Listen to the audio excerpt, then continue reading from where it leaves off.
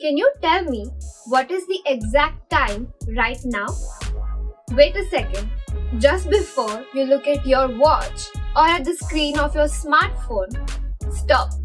Because in ancient times, there were no watches or smartphones to read or check time. Then, how could people tell time at that time? Well, it's because they used something called a sundial. Today we're going to make our very own sundial for which we'll need a cardboard, wooden board, scissors and glue.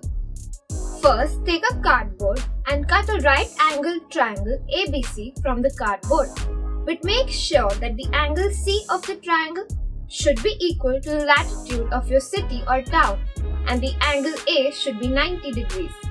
Now place the triangle vertically in the middle of a rectangular wooden board with the help of glue and make sure that the triangle stands erect. Then you are done. Place your board with triangle on level ground in an open space which gets direct sunlight throughout the day. But place the base BC of the triangle in the north-south direction with B pointing to the north.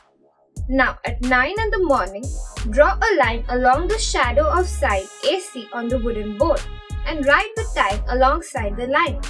Then draw lines of the shadow of side AC at 1 hour intervals by using a clock throughout the day till sunset and mark the time for each line.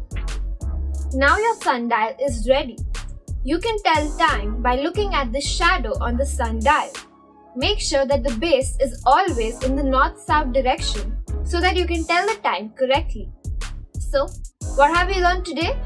Today we made our own sundial to tell time. Until next time, happy learning!